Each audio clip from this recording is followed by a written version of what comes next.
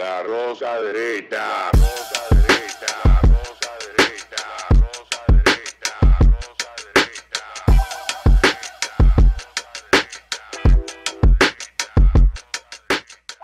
Este programa contiene tres personajes únicos y vulgares. Sus opiniones son totalmente individuales y ofensivas y debido a su contenido todos lo deben ver. Y bienvenidos a otra entrega de La Rosca Derecha. Hoy es, bueno, otro día más de nuestro podcast, otra semana más, una semana bastante agitada, con un fin de semana un poco, un poco terrible en algunos sí. aspectos, lo que sucedió en la ciudad de Salcedo, que pone en evidencia que a grosso modo aquí en grandes eventos eh, no existen los controles ni la debida supervisión de ciertos aspectos que pueden poner en peligro Negligencia la, la terrible, sí. integridad de las personas que asisten a estos grandes eventos. Yo honestamente hasta el domingo no había pensado, mira que yo he asistido a muchísimos carnavales y eventos, tanto aquí en la capital como en el, en el interior del país. Y debo de decir que lo que se vio en el carnaval de Salcedo es lo cotidiano en cualquier otro carnaval. Una aglomeración enorme de personas, Poca organización. poca organización, Todo al medio. muy pocos protocolos de seguridad. Quizá donde uno más encuentre esto sea en eventos que ya tienen una larga data O con marcas ido- que organizan. o exactamente, Que que, intervienen grandes marcas exacto. que por un tema de seguridad industrial, donde ellos Exacto. estén presentes, deben de contar con una serie de, de facilidades para casos de emergencia, casos de incendio, pero aquí no hay eh, esa cultura de que las autoridades responsables de la seguridad en eventos masivos estén empoderados de, de- de- de una manera tal que ellos puedan eh, dar la garantía de que allí se cumplen con los accesos y salidas de seguridad, de emergencia que debe de contarse con las herramientas en caso Pero, Ni un extintor había ahí. eh, de que de que hayan limitaciones y que estas limitaciones se puedan enforzar, no sé cómo se dice en español, ¿verdad? se puedan eh, Sí, que se puedan aplicar. se puedan aplicar de manera de manera de manera eh, eh, eficaz, que cumplan, que se cumpla el, el objetivo de evitar que esta tragedia se den. Lo lamentable de esa tragedia es que los primera, las primeras horas uno lo que se distrae y lamenta es lo que ve en las primeras imágenes. Y mientras ves las imágenes, tú no le, tú lamentas el hecho, pero aún no llegas al punto donde empiezas a ponerle cara, nombre e historias a los que se han convertido en las víctimas de esto, desde los jovencitos de Son 15, niños, 14, loco, 16, eso, hasta la madre que luchando por quitarle a su hijo de 5 y a su hijo de 15 años Wow. quitarle las prendas prendidas del, del disfraz. Ella también embarazada se quema sus manos. Mira, es una tragedia humana profundamente dolorosa, pero que tiene que hacernos reflexionar en, en términos de que, de que estos eventos, y yo vi al presidente de la, de la, de la, del comité organizador del Carnaval de Salcedo, que se ve un hombre muy responsable, muy consciente, la actitud de la alcaldesa que ella dice, aquí no es una cuestión de, de echarle culpas a particulares, debemos todos de asumir la responsabilidad de lo que salió mal porque todos fallamos. Haya sido porque, y ciertamente el, el presidente del- de, de la comisión dice, bueno, los protocolos estaban establecidos, la, la- la- estaba prohibido la manipulación de fuegos artificiales, pero siempre hay un maldito que se vuela las reglas. Sí, porque eso es- hay que decirlo, la alcaldesa dijo que no había No. programado, ni estaba agendado, Ni estaba planificado ningún- eh, la utilización de seguro, pirotécnica. como yo decía llegó uno a, a curarse que Vamos a romper, vamos a romper, vamos a vamos a romper. fuegos donde vayamos a salir. Vamos a darla duro para la cueva, vaina. Un, un, un- Eh, un acto, una gran puta un acto de negligencia Sí. y peor aún, como cuentan varios testigos, dentro de ellos así lo pudo documentar un joven que hace periodismo digital eh, y ciudadano en Salcedo, Salcedo VIP. Él es apellido Ureña, que me disculpe que no me recuerdo de su nombre, pero sé que su apellido es Ureña, un joven inquieto y trabajador de Salcedo, que él hizo un- una reconstrucción de los hechos con testigos el mismo día del hecho. Y los testigos cuentan que los fuegos se encendieron, ciertamente, pero llegó un maldito, un borracho, pa, y le dio una patada. No, no, no, y que salieron. Y no, no, no, porque es que, es que, es que, eso- es que da risa. Que solo de tú pensar a qué maldito imbécil se le ocurre O sea, los fuegos estaban prendidos y el tipo vino. borracho, Claro, pa, y batea- Dame ver y qué hace esto. Empiezan a salir los fuegos artificiales en todas las direcciones. Y ahí es que el primer grupo lamentablemente se incendia y se produce una, una, una reacción en cadena. De la gran. Dejó 20 personas heridas Y niños, posiblemente 6 de esas personas no puedan sobrevivir porque su estado es demasiado delicado.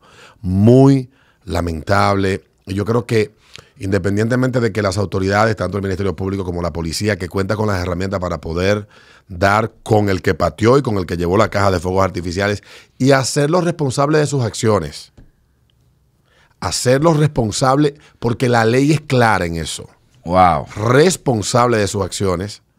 Y como, y como te decía antes, este joven eh, pues conversó con varios testigos y ayer el Listín Diario conversaba con el presidente del comité organizador del carnaval de Salcedo y él allí explicaba de que ellos tienen sus protocolos, de que cuentan que no hacen nada que no sea avalado por la- las autoridades correspondientes, en este caso bomberos, la gente Exacto, que los que son quienes Dan los permisos para ese tipo de y dan los cosas. permisos. Correcto. Y él contaba que ellos no- en el único año que programaron fuegos artificiales en una zona controlada fue el año pasado por el por la vuelta después de dos años sin hacer el carnaval. Fue el año antepasado o el año pasado. Ahí. eh, Sí, porque uno no está en contra de los fuegos artificiales. No, porque hay y- un protocolo, por ejemplo, en Villa Altagracia me contaba una persona que se hacen cada vez en las patronales, pero se hacen en el play, En un- como en dice un el protocolo, controlado. y supervisado con los bomberos, que son los que dicen, mira, ponlo ahora, tíralo de este lado, tíralo para este lado, pero tú no puedes primero fuegos artificiales donde hay gente cruzando. O sea, eh, hay, hay, hay Señores, protocolos de emergencia. Esa caja de show que, que muestra este joven de Salcedo VIP, que hay un video colgado en su cuenta de Instagram. Esa caja, ese show de fuegos artificiales, una sola mierda de esa que le explote arriba a una gente le arranca un brazo. Que no solamente un borracho llegó y lo pateó. Un niño puede venir, es que esta vaina, un y lo tira y pierde la dos manitas. Y, y ahí uno tiene que reflexionar porque uno va a tantos eventos aquí, al aire libre, digamos, eventos que son... eh, y yo no sé si aquí los bomberos le exige a los, a los organizadores de eventos planes de contingencia y planes de evacuación. Sí, se le sigue. No, no, no sé, y no sé con qué rigurosidad. Cuando digo aquí no me refiero a la capital. Ah, ya, no. me refiero al país ya, completo, porque El ciertamente pequé de- pequé de- nosotros creemos de que, que la distrito. República El es Distrito Nacional. Punta Cana, Distrito Eh, Nacional y Santiago. esa es verdad. Y uno sabe que tanto en la ciudad de Santiago como en Punta Por Cana lo menos aquí en el la distrito, capital se exigen los eventos son masivos. muy rigurosos en Sí. eso, lo que montan eventos y lo que tienen negocios y Se cuidan mucho de eso por el tema de los en seguros. estos tres lugares. No, por eso dije aquí, porque desconozco si en Puerto Plata, Eso es ya. en eh, Salcedo. sí, en, en Alguemaco, vainas. eh. Exactamente, los bomberos tienen, tal vez la, son diligenciosos y ojalá y que entonces esto cree un precedente de que sí, así sea, de que, de que haya una, se haga la debida diligencia, o sea, el, el- el responsable procure porque, carajo, tú cuentes aunque sea con una nevera con agua, un botellón con agua y un extinguidor o una cubeta con ace. Le echan hielo a uno, una cubeta de hielo. Pero le echaron es el acto no de la- había nada. no había nada. No había nada. No había Ya. nada. Hermano, y de verdad. Perdona que me ría, pero que ¿Cuántas cosas? Es ¿no? irónico. Porque, porque es que todo lo que tú ves en el video. Faltaba que echara romo era para que prendiera más. No, no, no, una, una cosa terrible. Mira, yo lo vi y los primeros en, en postear el video fueron los muchachos que manejan la cuenta de nosotros. Vaya media, video- papá. Un video de verdad desgarrador. Un, un video que también habla de nosotros. Porque te voy a decir algo y no quiero criticar al que entiende que debe de documentar algo. Pero hay estados en Estados Unidos, y discúlpenme que uno siempre apela a Estados Unidos, pero es que la referencia más cercana de cosas que pueden ir bien y funcionar de la manera correcta. Puede haber otra referencia, usted busque la que usted quiera, pero, pero me disculpan por siempre hacer referencia hacia Estados Unidos. En Estados Unidos pasó un hecho en el metro de Nueva York hace ya unos 10 años, 2014, 2015 más o menos. Una joven se cae en las vías del tren. Eso, güey, ahí mismo. ¿A qué apeló una, una persona que estaba, que estaba con ella en vez de ayudarla a salir, A grabarla. a grabar? ¿Qué pasó con y la esperando que llegara el tren para matarla. ¿Qué pasó con el joven? Él grabó el momento completo. Llegó el tren y la mató. Llegó el tren y se la llevó. ¿Qué pasó con el joven? Diablo. El joven Lo sometieron. sometido a la justicia porque él prefirió documentar una tragedia en video que auxiliar a una persona que estaba en peligro de muerte y que terminó muriendo. un acto que fue responsabilizado él y condenado. Responsabilidad por omisión. y condenado por ello. No estoy diciendo que no quiero venir aquí en puritano, pero yo me he encontrado con montones de accidentes. Aquí comenzó en, la, en las avenidas a, cua- a- a cualquier hora de la madrugada o de la noche. Y recuerdo que cuando yo tuve mi primer BlackBerry, me encontré con un accidente en el túnel de la de la Tiradentes con 27, en ese paso de desnivel. Y yo no tenía la costumbre de grabar, pero me encontré como con 10 personas que estaban grabando. Y cuando yo me paro en mi carro, tenía un carro azul yo en esa época, me paré a la derecha frente al edificio Yolanda y voy caminando y tengo el celular en la mano y yo iba a tomar una foto. Digo yo, pero ¿qué coño yo voy a hacer? Hay que, déjame caminar y correr hacia allá a ver si necesitan auxilio. Pero ya las personas que estaban dentro del vehículo habían salido. Ya. Todos los que estaban grabando, ninguno. Yo por eso en el caso de los jóvenes motoristas que ayudaron a, a rescatar a la joven aquí cerca de donde grabamos, en el paso de nivel de la... De la, de la el, La el Vila de 27 ahí, la casi- 27 aquí en- y, y la doctor de Filló. Esos jóvenes tienen un mérito que tal vez, que es extraño hoy, que un tipo diga, coño, porque nadie está haciendo nada, pero vamos a hacer algo nosotros. Correcto. En vez de tomar su celular para grabar, dice él, yo iba a grabar y al no ver y al ver a Que nadie me está mismo, nada, nadie está diciendo nada, dije, por esta muchacha no vamos a Pero mira, no te más lejos. Hay una. Entonces, en el caso, la gente lo que se ocupó fue de grabar.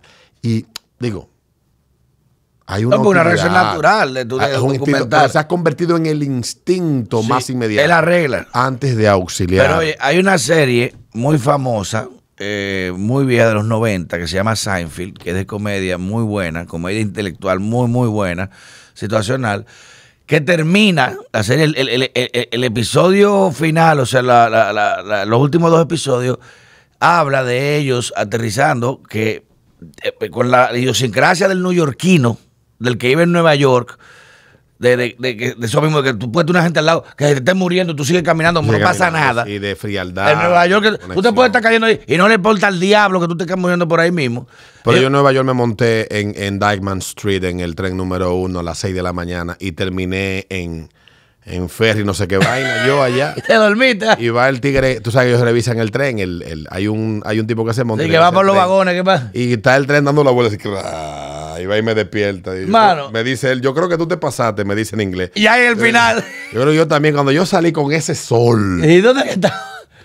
20 minutos más para atrás porque tenía que dar la vuelta el tren, Ey. tomar su Y vaina. nadie le importa un carajo. Y eso, y yo durmiendo ahí feliz. Digo, ahora uno no se puede ni siquiera pestañear porque No. te arrancan hasta el culo. Hasta te vio, te lo meten en la boca, pero, Pero estoy hablando de hace 10 años atrás. en, eh, esa, ellos relajan la idiosincrasia del neoyorquino, se paran en un pueblito porque el avión tiene problemas, se paran en un pueblito y ellos andan, no había celulares, pero andaban con una cámara porque iban para viajes para París y andan con una cámara a grabar y están en un pueblito súper chiquito ahí y están ahí caminando los cuatro y ven a un gordito que lo están atracando, el tiro está robando, quitándole.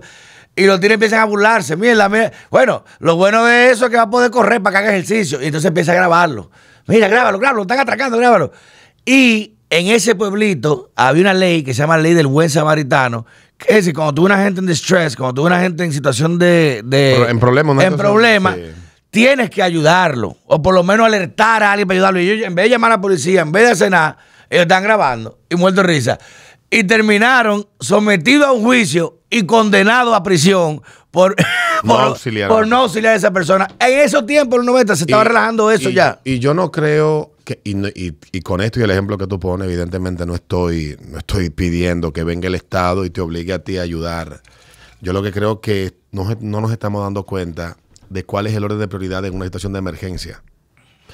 Yo recuerdo también el 18 de marzo, de, de marzo no, de noviembre, cuando un grupo de cinco personas se lo llevó un río aquí cerca de Mano Guayabo y había un señor intentando por todos los medios posibles con una soga amarrar el vehículo para ayudarlo, tirarle Y la nadie lo ayudaba. Había un tipo grabando. Y nadie lo ayudaba.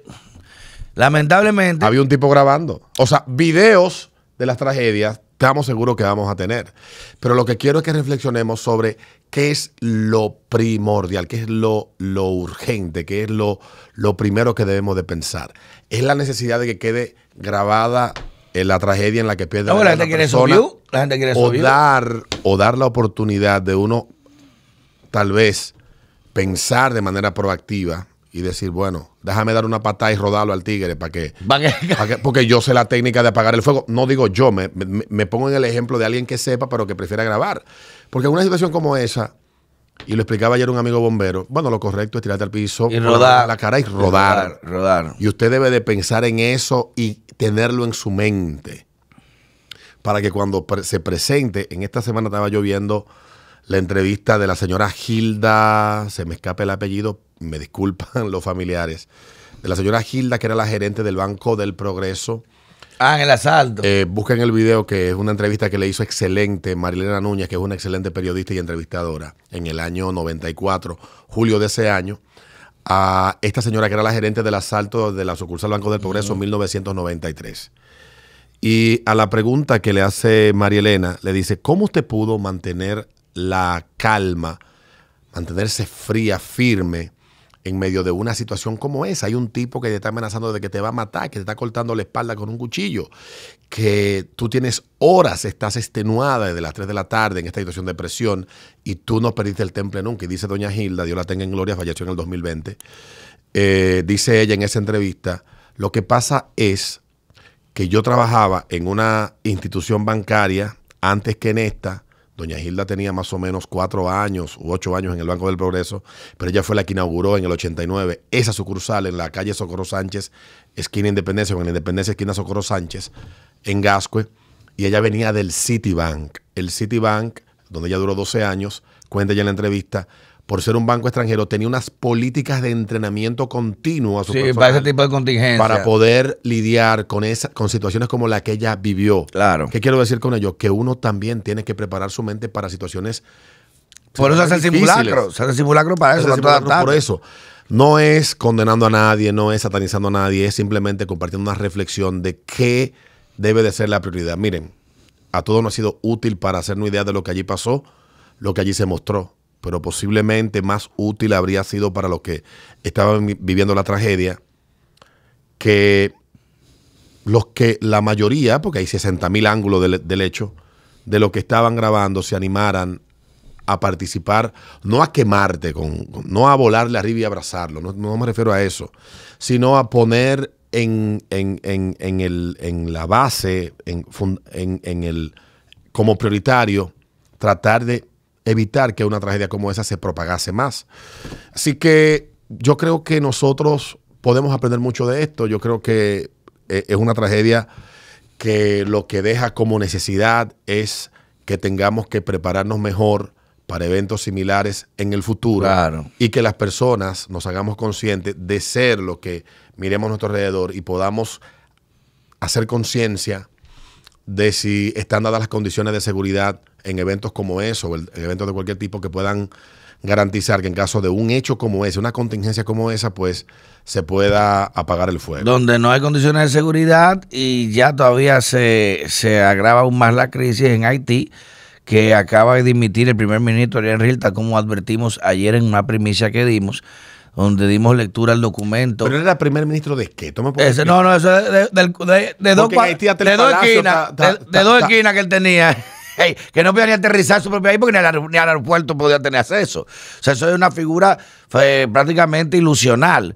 Y eso, eh, de esa falta de autoridad, lo que dice es renunciar a qué, dimitir si tú no gobernabas nada. Mira. Pero era la exigencia del grupo que está negociando el, el consenso de transición para evitar el colapso haitiano, garantizar seguridad y, pues, elección- y elecciones aceptables. Ayer yo, hoy leía que ayer eh, la ONU proponía que se restablezcan las instituciones democráticas de Haití. Y yo me preguntaba, Sí, van ¿cuándo en Haití ha habido una varita alguna- mágica que alguna institución democrática que funcione? Porque el Congreso no funciona.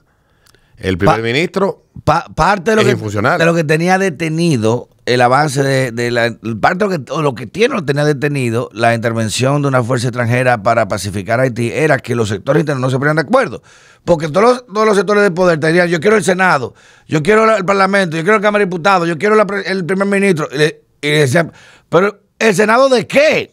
¿El Senado de qué? Si no tiene nada, eso me recuerda a mí.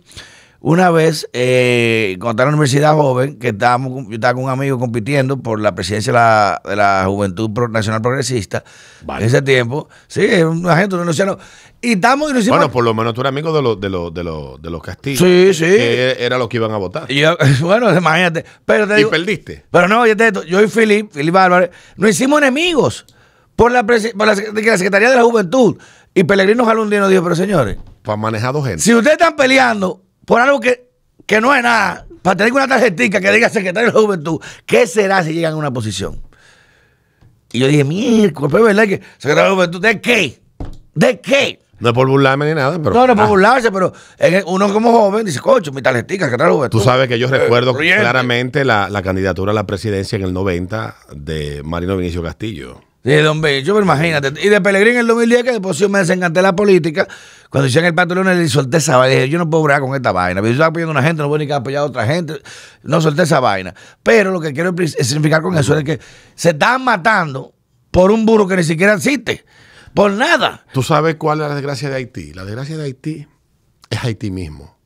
Y me van a. No, Haití es bonito, lo malo son los haitianos. No, pero cuando me refiero a Haití, no me refiero ni al pueblo haitiano, ni me refiero al pedazo de tierra que ocupan, ni me refiero a la multietnicidad que hay allí, que tal vez también es parte de lo que complica que hay, que, sí. se puedan entender. No me refiero a eso. Correcto. Me refiero, al Haití que me refiero es a Haití como una como un botín que se puede que pues, del cual se puede medrar donde llegan intereses de todo tipo como llegaron intereses después del terremoto y se hicieron con una parte- Saquearon esa vaina. saquearon ese No, país construyeron 10 sacaron casas. Cientos de millones aquí hay aquí hay muchos de esos cuartos en los bolsillos de varias personas Sí. y así empresarios del Cibao, empresarios de la capital. De Estados Unidos, los Clinton también, la Fundación Clinton. Hicieron su, su agosto hace 15 años casi del terremoto. Miles de millones de dólares. Miles de millones de dólares se llevaron ante las uñas. Y cuando me refiero su propia desgracia es esa que permite que mientras allí reine el caos, pues Ellos están vaya peleando por un poder que no tienen. un poder que no tiene. Entonces se le dijeron al sector privado, se reunió con el sector religioso del Carico, le dijeron, mira, esto- ya el miedo de ellos no era pelear por el poder, lo que tenían, fue que Guy Philippe dijo que iba a querer optar por la candidatura presidencial. Ya tú Y ya eso cambiaba el escenario. ¿Qué hicieron de una vez? Ahí se y esa es la esperanza de Haití. Haití no tiene esperanza. Oye, y ahí se pusieron de acuerdo y parte de la resolución que se- en la que acordaron es que ningún candidato presidencial podrá tener antecedente criminal o, o sentencia condenatoria. Y o, eso fue para Guy Philippe, que recuerden, cumplió eh, condena por narcotráfico en Estados Unidos y que está siendo financiado por Venezuela. Por eso Pero- los gringos se están metiendo ahora rápido. Pero el asunto es, mira, vamos a poner la casa en orden. El mismo pueblo haitiano anda. Lo peor es cuando tú no eres capaz de reconocer. Aquí sí hablo del pueblo haitiano porque ha sido víctima de una operación psicológica que le ha hecho pensar a ellos por todos esos grupos de interés que ha habido como una especie como de gente que ha coludido en el pasado para que ese sea su destino. Y posiblemente sí ha habido en el ingrediente, en el sancocho del problema que tiene Haití, de eso. El problema que ha tenido Haití es lamentablemente de que poderes foráneos en diferentes épocas han utilizado Haití como centro de operación o como instrumento o lo que sea y han desvencijado en varias ocasiones las pocas oportunidades que ha tenido ese país de poder organizarse, ponerse de acuerdo y avanzar, como lo han hecho otras naciones que tienen tal vez un origen similar a Haití, pero poder avanzar. Pero yo entiendo que a las, a las grandes potencias les conviene tener ese lío ahí con algún tipo de excusa. Recuerden que en los últimos 30 años los responsables de todos los líos que han explotado en Haití no han sido los haitianos. No, hay- hay- los gringos han puesto quitado, puesto quitado. Eso ha, eso ha sido a antojo y capricho, por la razón que le ha salido de las nalgas a quienes allí han provocado ese problema. Es que hoy esos que han provocado ese problema y he vivido lo suficiente como para recordar todo lo que ha pasado en mi memoria, que no es que lo estoy leyendo en un libro, que lo he visto de manera cronológica y en tiempo real desarrollarse. En Haití, los que han provocado eso no se quieren hacer responsables del problema que ellos han provocado. No, al Y revés. es que Haití no tiene futuro con ninguno de los esquemas que están planteados Lamentablemente. a que ese problema se resuelva. Y eso lo sabe Canadá, que es corresponsable de ese problema, Sí. Francia, Sí. que es corresponsable, Estados Unidos, que es corresponsable de ese problema, y la Unión Europea, que es corresponsable de ese problema, que hoy vive Haití. Que no tiene que. Y ellos saben qué es lo que hay que hacer en Haití para resolver el No hay problema. viabilización, por eso. eh, Y mientras haya en el medio organismos multilaterales, la multilateralidad de la ONU, y esto tenemos que ir en un grupo de mamagüevos a juntarnos en Nueva York, en un aire acondicionado con seguridad y, y suite de 5 y mil dólares y 2.500 do- dólares a discutir un problema con todo remoto. No, porque en Haití hay que buscar. No, eso no es de soluciones. Miren, en Haití ahora mismo tiene que estar, y tú me corregirás, el que tiene la solución para el problema en la mano. Identifíquenlo y denle el control a esa persona, sin importar quién sea. Con tal de que garantice que ese país, su gente, pueda volver a vivir en la relativa paz que tenía hasta antes Sí, porque papá no tenía, porque allá en Haití tú, tú matas a una gente, la entierran en tu patio, no importa nada. Exactamente. Es una, te digo, es un territorio tribal. Hasta antes del terremoto, Ah. Haití era relativamente tranquilo. Mi hermano trabajó. No, no, que se 10 podía trabajar bien empresa. En Haití. En los lugares calientes eran calientes, pero se podía trabajar. Se pero ahora mismo, trabajar. Ahora mismo no se puede hacer nada. Las empresas allá, el sector privado allá, que es de lo- eh, Hermano, es el caos. es importante, está manejándose por cuadrantes. Dígase, el yo manejo cinco esquinas aquí, tú manejas tres esquinas allá, yo manejo dos esquinas aquí, manda mi camión por aquí. Se están haciendo trueques, señores. Tú cambias gasolina eh, por comida, esto por ropa, esto por alimentos. O sea, una locura. Eso, eso, eso, eso ha involucionado casi 100 años. Una- si Haití estaba atrasado, ahora está involucionado Ya. casi 100 años. Y si tú miras un capítulo de Padre de Familia, no sé si tú has visto Padre de, Fa- de Familia con... Hay un capítulo donde sale Godzilla, tú sabes que Godzilla es... Family Guy, tú dices. Family Guy. Family Guy. Family Guy. Eh, sale Godzilla, o sea que Godzilla es un monstruo mitológico de- del imaginario Japonés, sí. japonés, etcétera, que es un dinosaurio que sale del fondo de no sé qué vaina radioactivo y destruye ciudades y vaina y llega a Haití y dice Godzilla cuando ¡ah! y mira la destrucción y dice ¡oh! ¡Oh! y se va. Y ya yo vine por aquí, déjame devolverme. ¿quién Se me adelantó. Diablo, yo me devolví. Y puede parecer hilarante, pero Haití en ese momento que se hizo ese capítulo no estaba así. No, pero ahora, ahora mira cómo, mira cómo está así. Y es- hoy está como aparece en ese capítulo. y entonces, ahora mismo la solución a Haití más viable, ni siquiera para Haití, para la República Dominicana, es la, contención económica. Nosotros desarrollar nuestra frontera más que nunca. Nosotros poder invertir, que el grupo, los grupos económicos de poder del país que tienen planes buenos, pueden decir, concho, vamos a incentivar de que en vez de comprar un chicle aquí, me lo compro en Barahona o comprarlo allá, que se produzca allá. Que la gente se maneja ahí en, una línea fronteriza económica más que un simple muro. Y si hay que hacerle empresas de pero garantizado seguridad, hacerlo bajo las condiciones de nosotros. El tema es, reitero, que nosotros bajo ningún esquema podemos participar directa o indirectamente en una solución o en una intervención a ese país, porque eso va a agravar. Pero tú has pasado crisis. por algo alto, ah, por alto algo, y yo sé que tú sabes. Que carajo, disculpa que te interrumpa, porque ¿qué fue que Tranquilo, dijiste tranquilo, algo tranquilo. de nosotros participar en una solución que no podemos. No, de no participar. de no participar. O sea, por eso dije no podemos al final, porque lo dije desordenado. Pero volviendo, déjame ver la idea de que nosotros no debemos ni podemos participar en ninguna solución que allí se plantee por la por los temas. Hay un tema histórico generacional. ¿Tú me puedes explicarme cuál fue el diplomático, cuáles fueron los diplomáticos que se le ocurrió a ellos la brillante idea de que Ariel Henry se quedara aquí Eh. en República No lo Dominicana? querido decir, no lo querido decir, Porque pero Nuevo Herald tiene los nombres. claro que sí, hay que hablar claro. El mismo canciller, el presidente fue que tuvo que plantar los cojones. El canciller fue que tuvo plantar los cojones. ¿Dónde- El canciller o el presidente. El, el presidente, escúchame, el presidente que tuvo plantar los cojones. No, no, Robert, pero vale un dos. Él, el, el, no voy a decir la palabra que quería decir, pero el, el, el- sí, porque hay que de- el, lim- el limpia pantaloncillo de él, ¿eh? Eh, José Julio, y otro, sí, vamos a mostrar como gesto de solidaridad. Pero hacíamos esa vaina Y ese, e- ese Guy Philly iba a decir, miren, en Dominicana tienen a Riel Henry, tú verás, lo están apoyando. Ahí que se armaba la del diablo. Pero se armó la del diablo en Puerto Rico con la comunidad haitiana Eh, en que fueron Puerto Rico. pelear allá. Imagínate aquí. ¿Tú te imaginas ese escenario? De que aquí en el embajador y vengan a, a marcharle allá. Y que pase un muerto en una protesta. La del diablo se nos arma. Pues, Es que, que estos tipos quieren. Son.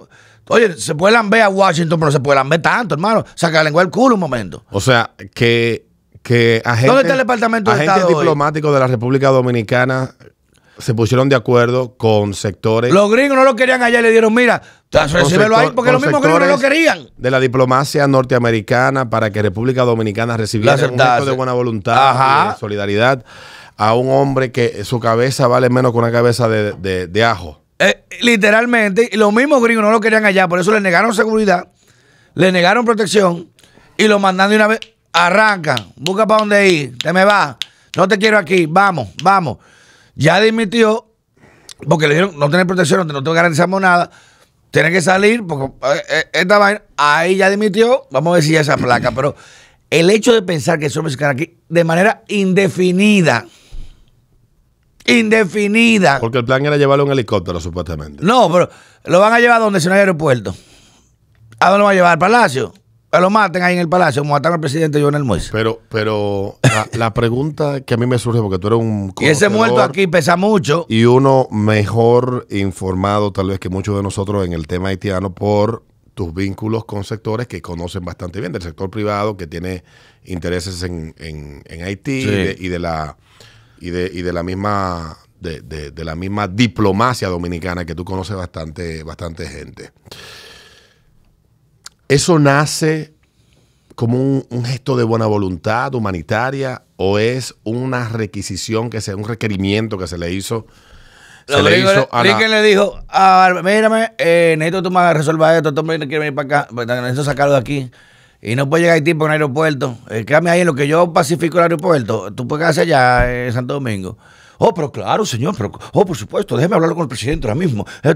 Y presidente dijo, pero ven acá, tú te estás volviendo loco, eso me está Es, caliente. es cierto, es cierto que el presidente cuando se le abordó con ese tema, él iba, él iba, eh, iba caminando en uno de los pasillos y que él se detuvo y dijo tajantemente, no, Claro, eso pues, es Le imposible. digo que tú te. Pero, pero, ¿qué pasa? No, que los gringos le van a garantizar la seguridad aquí.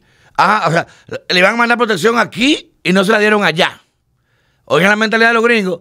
Sí, le garantizamos protección ahí en Santo Domingo, le mandamos un equipo para protegerlo allá. Y no en su territorio. Y no en Puerto Rico.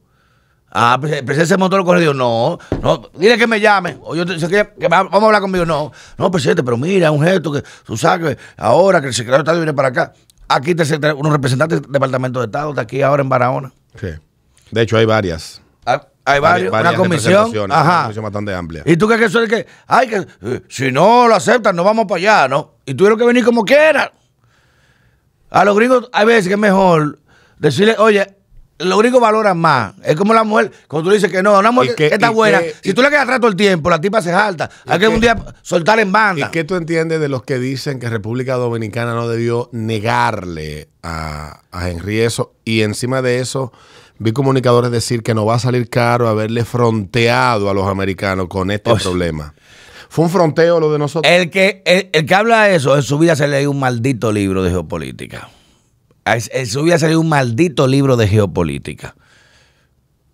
Tú te estás volviendo. di- Dile a Israel que reciba eh, a- a- al presidente de la autoridad palestina en, en, en- en- Barak. Jerusalén eh, o en Tel Aviv. eh, que lo reciba y que refugiado. Digo, en un contexto como ese. Exacto, lo, que lo reciba, que lo quieran matar en Palestina, que lo reciba ahí. Al presidente de Ucrania, a Pechevenko, cuando lo sacaron de ahí, ¿por qué no lo recibieron los gringos? Porque lo recibieron los gringos. Ese fue el que depusieron en el 14. Sí, porque era prorruso. ¿Por qué no lo, lo- recibieron los gringos? Entonces, el que no ha leído un maldito libro y habla, habla zika por esa boca, porque lo más fácil es hablar zika sin saber que eh, tuvimos que. eh, buena mierda. Usted sabe las condiciones de referencia. Uno acepta refugiados que no tengan afectaciones a intereses nacionales. Aquí recibimos a Manuel Zelaya cuando lo derrocaron, señores, en Honduras. Y bebió pila, se la lleva. Chacho, es un más coro que el diablo. La hija muy amiga, un abrazo Sí, cariñoso. sí, sí. No, y ellos Aquí ellos a se Perón- portaron a- a bien. Perón, aquí se recibió a Perón cuando salió de Argentina. Y a, y a, Pero son y a gente- Pérez Jiménez cuando a salió de Venezuela. pero y a Batista, coño, pero aquí han venido dictador. Oye, que él no tenga acostumbrado que no diga, vamos El para allá. embajador, ¿eh? Para Punta Cana.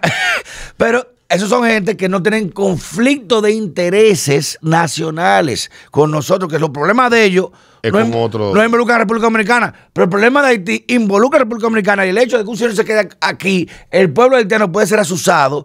O azuzado, como dirían los grandes mentes. Azuzado de que, miren, le están dando albergue. Es que lo están apoyando, lo están cuidando. Y se nos pega entonces más problema a nosotros. En el imaginario colectivo, tal vez la gente que no entiende medianamente cómo se manejan los hilos del poder y atribuyen todo su malestar a que fulano, eh, por fulano que estamos mal, no sabiendo tal vez que bien o mal es una sucesión de hechos que se van dando y evolucionando en el tiempo. Pero por Dios. Entonces llega uno y ¿Por qué no se fue a si todo está bien, si todo está bien, ¿Por qué no se fue a Jamaica, Henry? y potencializa y aprovecha el estado de bienestar. ¿Por qué no se fue a Guadalupe? ¿Por qué no se fue a Bahamas? ¿Por qué no se fue a San Martín? No, lo que pasa es que Jamaica, Jamaica está muy cerca de, de Haití en, en cuanto a la realidad social y de seguridad. allá lo agarran y lo linchan también. Entonces, ¿qué te digo? ¿Por qué eligió, por qué elegir? Es su problema diplomático. ¿Por qué elegir República Dominicana? ¿Por qué? Y creo que la respuesta, la respuesta de- del presidente fue correcta. Totalmente. Y- los cojones que se le vieron cuando salió del avión, le bajó con los dos cojonazos. Así bien lo aplicó. Gracias a Dios con los dos Coño, cojo- respeta al presidente. Los dos cojonazos que tenía, así, que salió del avión, así bien lo aplicó. Digo, este cohete va a recibir aquí. Mira, vete para el carajo. Yo escuché a alguien decir, bueno, no fue a alguien, a mí me dijo un intelectual de mucho peso, una conversación, que le ha sorprendido la actitud que ha mostrado el presidente, porque si bien es cierto, él es crítico, dice él, de cierto grado de entreguismo que se ve de parte del Estado dominicano frente a ciertos temas con poderes foráneos como Estados Unidos, vamos a hablar claro. como la ONU y otras organizaciones que son eh, eh, que no tienen ningún vínculo ni ningún interés afín a la República Dominicana y a las cosas que tienen que ver con la agenda dominicana. En el tema haitiano, el presidente ha mostrado una que él ha estado bastante claro y dice: Yo creo que el presidente le hicieron pensar una cosa y cuando llegó al poder entendió rápidamente cuál es la realidad y el peligro que representa Haití para la República Dominicana. Y entendiendo, dice esta persona, me decía en el comentario, entendiendo el presidente de que la, el interés, el interés por preservar la estabilidad social y política de la República Dominicana está por encima de todo. No importa cuánta presión Pero ven acá, venga de fuera. hermano. El presidente ha mostrado una actitud, dice él, a veces un poco excesiva, como en el caso del cierre de la frontera, pero que hasta ese hecho le ha sorprendido. Bien. Porque en, en- en- en otro contexto, tal vez estando en la oposición, mostró un tipo de discurso, de Sí. postura que eran un poco más políticamente correcta y alineada con lo que buscan que República Dominicana sea la solución al problema haitiano. Y ya estando en el poder, el presidente ha mostrado una actitud totalmente Hermano, somos el distinta al país que, a lo que vimos en el más estable de la región al lado del país más inestable. Tú sabes lo difícil que es eso. O sea, el país, ah, en Venezuela lío del diablo, en Colombia marcha todos los días, en Perú como 10 presidentes en dos años, en, eh, en Chile protesta todos los días, Nicaragua matando gente, eh, Brasil la del diablo, manifestaciones, el personal va preso. Y aquí relativamente el país más estable con el más inestable al lado. O sea que se nos pega una chipita de esa vaina, aquí cogemos fuego. Pero tú sabes que, ¿quién dijo la frase que estamos a menos de una generación de perder? La libertad está a menos de una generación de perderse. Eso lo dijo, Coño, eh, eh, fue Ronald Reagan. No sé Yo si creo que lo dijo en un discurso. Sí, o, pero al- It's o sí, eh, o, o fue Ronald. Reagan o alguien que él leyó y Hay que defenderla todos los días. Entonces, República Dominicana, y lo digo con, con preocupación, creo que nunca antes ha estado más cerca de que los intereses de, de los que no están al servicio de los intereses dominicanos nos comprometan, lleguen a tener posiciones y ya están en posiciones de poder. Ojo, Ay, que el que comenzó eso aquí y debe hacerse responsable fue Danilo Medina. Es verdad. Danilo Medina metió a esos sectores a, a la administración del Estado y le otorgó cuotas de poder. Y esos sectores como buenas sanguijuelas que son, supieron saltar la talanquera. Claro, en vamos a hablar claro. adecuado, Participación en el momento ciudadana. adecuado. Fin, toda esa vaina. Y, y, y llegaron al otro lado y tienen hoy una cuota mucho mayor de poder cuan- al punto tal que sectores estratégicos y vitales en este momento están en manos de esa gente y comprometida, no con la causa dominicana, sino con lo que un grupo de interés le diga afuera. En Washington le mandan lo mismo que decía aquí, pero Pavel dice ministro de Economía, Planificación y Desarrollo, por amor a Dios. Un, eh, un- un tipo que hermana falta dice, decir el que dice este que país es racista, que somos una no queremos saber de los haitianos Porque son somos negros. un país racista, porque son negros y porque son pobres, Eh, porque son ajá. afrofóbicos y porque somos racistas. Y el que se gastó en 30 una entrevista. 3 mil millones de pesos en un censo que nadie se sabe qué ha pasado con el maldito censo. Y sigue ahí Y por no presiones del poder. No era de que en noviembre, en, en junio, que iban a dar. Se, se comían los cuartos que a los empleados le pagaron, abusador. No a los empleados le pagaron a los censistas. A que le pagan a su censo, van a decir, cobran, págame adelante, ven, págame adelante. Ya, se- ya, ya para ir cerrando con el tema haitiano y cerrar con yo sé que es el que te interesa a ti porque estás como niño con juguete nuevo o solterona con dildo recién comprado. Yo Con creo- butt plug, yo creo, Rocco. Y es lo que invito a quienes vean el video del día de hoy. Es que en la medida en que de aquel lado se pone, la cosa se enciende más, nosotros podamos tener la claridad y no dejarnos confundir en medio de toda esta locura sí. que se está desarrollando y que independientemente de que aquí hay grupos de interés que quieren asusar un sentimiento eh, legítimamente documentable anti-haitiano que le pueda dar validez a ese discurso que quieren vender hacia afuera con una especie de lo que está pasando. Ojo, y anoten la fecha porque no estoy aquí para hacer semilla. ¿eh? Ustedes ven la vaina que pasó con Israel Sí. y con, y con Gaza. Hay quienes plantean de que tanto la inteligencia israelí Sabía que iba a pasar todo, lo dejaron pasar. Lo dejaron pasar Para, poder reaccionar. para poder no y provocar una situación no de no quizás lo- lo- los israelíes con tal vez fueron atrapados en su distracción o lo que fuere Hermano, agarra un israelí pero distraído. pero sí pero hay que dudar un poco pero ciertamente desde afuera se ha orquestado una campaña de odio hacia el Estado de Israel Sí. de, de tergiversación y una operación psicológica masiva hacia, a través de los medios de comunicación que a dos días de comenzar todo ese conflicto ya hablaban de un genocidio en Gaza Sí, está un discurso preparado. que no ha ocurrido, Te doy dos galletas tú me das una trompada y tú eres el que malo. no está ocurriendo.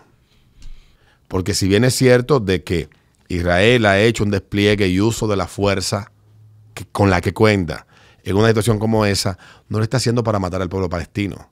No, los está terroristas. para descabezar al grupo terrorista Hamas, que tiene 18 años, con un millón y pico, casi dos millones de personas secuestradas, que tienen energía, que tienen internet, que tienen agua. Que han gastado todo el dinero que se le ha dado a donaciones. En vez de Gracias. comida y hospitales, lo han gastado en túneles y Ah, armas. Hermano, y que cogen la tubería que instala Israel por un lado para poner agua, ellos la cogen para hacer misiles Y para para- eso los mismos israelíes. Entonces, dime tú. Entonces hay que tener cuenta porque nosotros estamos en la misma situación de indefección frente a cualquier cosa que pase de aquel lado y lo que están buscando sectores de acá y sectores de afuera fue la campaña contra es abusadores. provocar una galleta. Es una galleta que se dé aquí nada más para entonces salir por el mundo. Yo- Gracias a Dios. Me que di en la galleta. Gracias a Dios que Vice lo cerraron, pero todavía queda J Plus, queda Al Jazeera, queda Fran Exacto. 24, canal que tú colaboras. Colaboraba. Queda- queda- quedan todos esos medios que son parte de la maquinaria de propaganda que cuando arranca a hacer operaciones psicológicas a través de la, de la subversión informativa, o sea, subvertir la verdad con opiniones contadas como hechos, nosotros no vamos a poder salir de aquí nosotros, ni, ni, ni a la isla Cabrito sin que nos escupan la cara. Ya lo sabes. Entonces tengan en cuenta por eso. Ya entrando en un tema más ligero, eh, vas a ir esta semana a Los Soberanos. ¿Es tu primera vez? Mi primera vez, estoy, me van a de soberanizar. Eh, eh, Estás invitado porque, aparte de acá, tú participas en otros proyectos. Es por la nominación No, de, no, de- no, no, no, no. otros proyectos. no. Te invitaron porque No. Pedro Manuel. Es, yo me conseguí mi invitación a Parla. Me ¿Tú invitaron la a Parla. o te invitaron? Bueno, eh, eh, ¿qué te digo? Porque a las dos veces eh, que me invitaron a Cesarito, mí- mira. Pero no tuve que que- No, pero que la- el programa manda- me mandaron de que dos invitaciones, que dos boletas. Dije, no, espérate. Las dos veces que me han invitado a mí al Soberano, me invitó mi buen amigo José Antonio Aibar, testigo, Una estrella. cuando era presidente de Acroarte y, y un hombre de palabra, quizás de los tip, de los tipos más íntegros Una que yo conozco sí. en los medios de comunicación. Me dijo, Alberto, si yo gano, te voy a invitar al premio. Y los dos años Ahí que te él llegó fue la invitación. presidente, fui la primera vez, te puedo decir que es un, no sé por qué la gente se afana tanto por querer ir al premio. En la vida hay que, hay que vivir la mayor cantidad de experiencia que se pueda. Para mí fue una experiencia, digamos, en el término de lo que ofrece la experiencia al que asiste, interesante, porque uno puede ver desde adentro muchas cosas, pero tediosa. Sí, porque. Porque usar traje, andar con unos zapatos que me apretaban, una maldita corbata, me dio grajo del maldito calor que yo tenía de ese traje del diablo. espero que pongan el traje- aire, por- Un traje como de cuatro piezas, de que te ponen una camisa y te ponen una vaina abajo. Un tuxedo. No, pero yo voy con un diseño especial. ¿Un tuxedo que se llama eso? Sí, un smoking, pero yo voy con un diseño especial de no entrar en una, un outfit elegido por el sastre del presidente, por eh. Tomás Sari, eh, Iris Sari, una estrella, el sastre que viste al Ah, presidente. pues tú no fuiste a La Coruña, la mayoría de la gente va a La Coruña. Eh, yo digo, Martín Polanco, eh, yo no, pero Martín es un buen diseñador. una estrella así, pero yo me gusta más lo, lo más sencillo. Lo más conservador. Lo más tranquilo, el que viste al presidente. Mira, el traje que tiene el presidente en el comercial de L24, en la que él sale caminando, ese traje azul. Que él tú tiene- verás, ese traje ese le azul, queda- ese azul. Ese traje le queda muy bien al presidente. Ahorita dirán los lambones. Ahí está buscando Alberto Punto con el presidente para ver si se pega de los Mierda PRM. ustedes. Me han ofrecido de todas las Eso es formas posibles para que me pegue y yo me quedo donde estoy. A él te gusta que te lo pegue, no que pegue. No, a mí me gusta pegarlo realmente. Pero ese azul eh, voy, voy combinado, que no voy tradicional, de que en el, otro tipo, porque es una gala especial, pero estamos en un país tropical. Pero eso, a ir mi primera vez. No, y tú eres un tipo elegante y tú vas un chingue esa barriga, tal vez lo Chacho, esa barriga, mira, yo tengo que cuidarse en la calle. No, ¿Va a ir con el pelo suelto no también tengo una trenza especial que me voy a hacer hoy también, una trenza especial. Lente Mira, desgraciada, que a saltar la llevar- barbechón, no. como que se llama? No. La vaina que uno mete, eh, la, la, la cantimplora esa. Ah. Una hay que beber ahí adentro. No, y no hay, pero tú me dijiste que había un bar ahí adentro. Bueno, hay un bar, pero se bebe antes de entrar al premio. Y después todo el mundo tranquilo ahí seco. Adentro, para adentro seco. Ah, no, espérate, ya suelta, yo no voy para ningún lado. Suelta. no, tú te llevas tu vaina, ¿cómo se llama? Eh, Una botija, una cantina, una vaina. Pero sí, eh, hay mucha expectativa con, con esto. Yo nunca he estado en este sector del arte ni de nada de eso. Eh, para mí es algo novedoso. Tienes que vivir la experiencia. Eh, verlo de que eso mío, que vaina, que alfombra, que esta vaina, que lo otro, que si esta Yo vaina. tengo amigos ahí, por ejemplo, el, el guion está en manos de uno de los mejores escritores de guiones que tiene la República Dominicana y la comunidad latina en ¿Cómo se Estados? Unidos, Juan Manuel Tejeda. Juan Manuel Tejeda. Juan Manuel Tejeda es publicista creativo, guionista, escritor. O sea, los premios llevan un guion. Humorista, claro, un guion escrito por uno de los cerebros más O brillantes. sea, que no es la gente que. espérate, no, no es Ochi y que van a hacer su cosa. Sí, pero ellos le dan un guion para, para ejecutar. Porque ah, pues una película. que te- No, pero una- siempre ha sido así. Ah, yo no sabía. Claro que sí. Y la producción para televisión de otro amigo mío, que es uno de los tipos más brillantes también a nivel de producción, Alberto Sayas. Ah, O sea, que tú y me ahí dijiste, está un Saya. amigo tuyo que, que aunque las tonterías de las redes a uno a veces lo, lo- lo- lo separan, pero que es también un tipo muy fajador y me alegra mucho que esté logrando muchas cosas con el premio. Eh, Cesarito.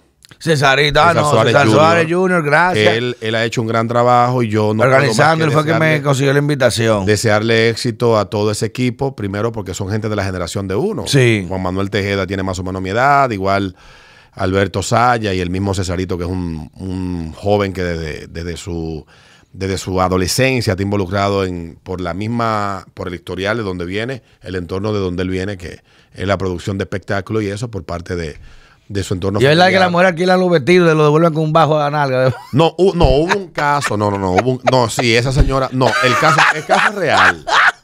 El caso real. Y yo, cuando alquilé el traje, y no estoy diciendo, no estoy diciendo vaina, yo me puse desodorante, pero usted no se imagina la cantidad de sudor que a mí me bajaba por los sobacos. No, yo espero que haya aire. Por ese. A mí me dio un grajo en el after party de Claro, en el Jaragua. Que yo andaba así, era.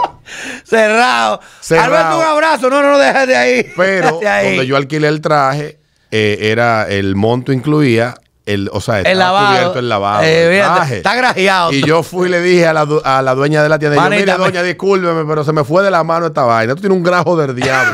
Para que después la señora no fuera y dijera, ese es sucio. Ese es sucio ni se bañó. El que lo oye hablando, él es asqueroso en la radio y le dio un grajo del diablo. Pero esta muchacha, de verdad, cogió... Sí, que un bajo anala que no Cogió- se. Que tres lavadas y seguía el vestido Sí, con el mismo bajo. sí, sí, sí.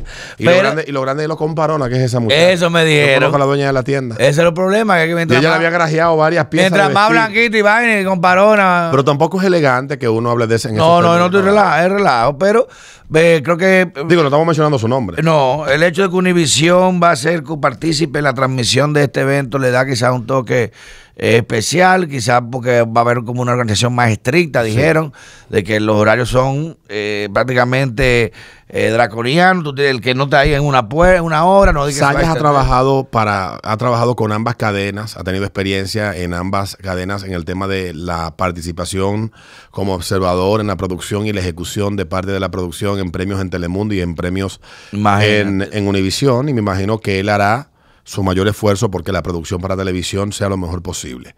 Yo tengo una opinión muy particular de los premios soberanos. No, no, no quiero hablar, ni lo he expresado, ni lo voy a expresar, porque inmediatamente dice, no, eso es este maricón que está diciendo eso, porque no lo domina. Envidioso, no vaina, invitan". que- sí, Como sé. me dijo un miembro de Acroarte, que yo estaba, que yo era tan duro en mis críticas hacia las elecciones que ellos hacían, que muchas veces Que entiendo hacen- debiste estar nominado con, hacen programa Ritmo de la Mañana. criterio, entiendo. hacen las elecciones sin ningún tipo de criterio, porque no hay un criterio claro, y no lo digo porque esté ardido o dolido, como me dijo, o porque no me nominan, sino porque yo soy un gran fanático, fui un gran fanático de las premiaciones desde mi infancia, me, me, me, me sumergí en ese mundo, leí muchísimo y he leído. Y uno, bueno, aunque la- los criterios en los premios como el Oscar, por ejemplo, han ido cambiando con el tiempo, en la Academia Latina de la Música y en la Academia Americana de la Música también ha cambiado, pero ciertamente los premios, señores, y yo lo he dicho antes y lo digo ahora, los premios no dicen si tú eres bueno o malo. Los mejores directores del cine americano no han ganado nunca un Oscar. Y actores buenísimos han durado 30 Y años actores para buenos que han hecho actuaciones históricas han sido vencidos porque ha ganado las relaciones públicas. popularidad no es y significa el talento. Sí. Una de las mejores películas de la historia sobre la Segunda Guerra Mundial se llama Salvando al Soldado Ryan. Private Ryan, correcto. Y, eh, y le ganó una querosidad de finales de los 90 llamada Shakespeare in Love sí, una pues, que ahí estupidez. incidió el poder y la penetración que tenía a nivel de, de- de opinión pública Harvey, Harvey Weinstein. Que hoy está preso Porque por, nosotros por, por conocemos abuso el sexual. nombre de Harvey por el escándalo, pero Harvey fue un poder con Papá, el poder, no, el poder, en no, Hollywood el durante, poder de durante Hollywood. más de ah. dos décadas. El que Entonces, bajaba el dedo. ¿Qué digo con esto? Para que los que están nominados y los que vayan a participar en el premio, y se lo digo con toda honestidad, yo he- a, a nosotros nos han nominado y a mí de manera particular me han nominado a premios muchas veces. Miren, la sensación de tú ganar es la misma de hacerte una paja. Después sea, que te viniste, ya. Ya pasó. Y yo lo puedo comparar a eso Es porque como el Rocco que clímax vive ahí. de la competencia es sentirte bien, sentirte reconocido, pero el masturbarte mucho no te hace un buen amante, igual que ganar muchos premios no te hace a ti ni un buen artista, Es verdad. ni te hace tener más calidad. Yo honestamente me alegro cuando colegas son reconocidos. Uno ha tenido la oportunidad de estar dentro de grupos de personas que son considerados para algún tipo de reconocimiento. Uno los gana, se llenan de polvo en la casa o en la oficina. Los premios nos dicen qué tan bueno tú eres o qué tan lejos tú vas a llegar. Los premios muchas veces son simplemente eso, herramientas que un grupo de personas utiliza para ponerse de acuerdo y entre ellos decidir a quienes ellos entienden que es el mejor. Nunca, nunca va a haber un consenso verdaderamente objetivo que coincida y que todo el mundo esté de acuerdo. Coño, fulano fue el De mejor. 100 a 0. Cuando Saramago ganó el Premio Nobel de Literatura, salieron comunidades cristianas y de, de- de literatura de todo tipo, pero vinculada a la Iglesia Católica, al cristianismo, a condenar que el Nobel eligiera un maldito ateo como ese para no, ese nunca- nunca hay consenso en Que nada. nunca va a haber un consenso general. Entonces, disfrútese el premio, mi hermano, vaya, disfrute, pásela bien. Aunque yo tenga mis criterios para ser crítico de cómo se deciden los ganadores, y mis amigos de Acroarte también tengan el criterio de por qué yo opino de esa manera, yo creo que lo más importante de esto es disfrutar el momento y pasar. Yo voy a ver mi show, muerto de risa, a ver a Rocco desfilando. No te sientes a la. Mira, eh, cuando viene a ver, yo le escribo a mi amigo Juan Manuel Tejeda para que haga modificaciones de último minuto y te metan una línea a ti. Porque hay, do- hay, hay, hay dos vainas con las que se te puede atacar a ti. Ego y no relaje. y no hablen de golpe, por favor. Cambio y fuera.